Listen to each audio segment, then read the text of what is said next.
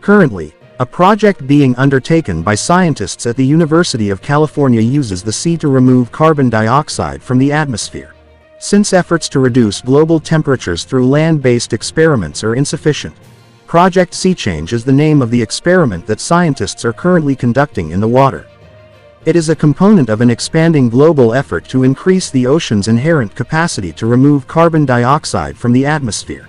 It utilizes the vastness and scope of the oceans while being designed to remove carbon dioxide from the atmosphere, which, as we all know, comprise around 70% of the Earth's surface. Only energy, rock, and seawater are required for the process to run. This is something that we wanted to emphasize because we believed that simplicity and the utilization of readily available resources were crucial. Now that scientists are warning that lowering emissions won't be enough to keep global warming to 1.5 degrees Celsius, the focus is turning to the ocean.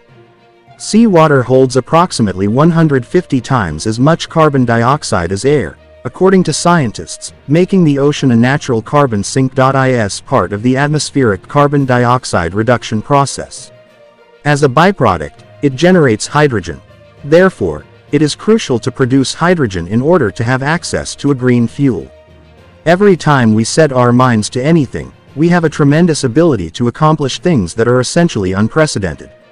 So when you consider that this is an engineering and manufacturing difficulty rather than a science challenge, I believe everything is essentially attainable.